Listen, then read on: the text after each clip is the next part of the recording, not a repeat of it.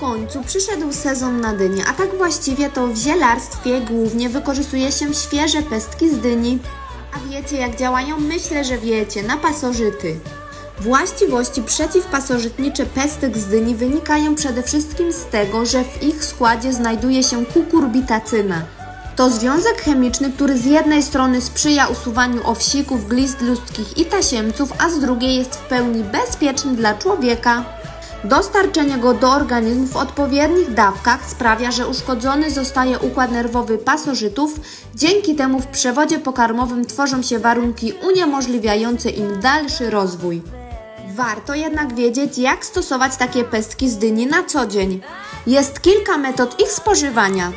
Na przykład spożywa się zmielone pestki z dyni albo olej z pestek dyni.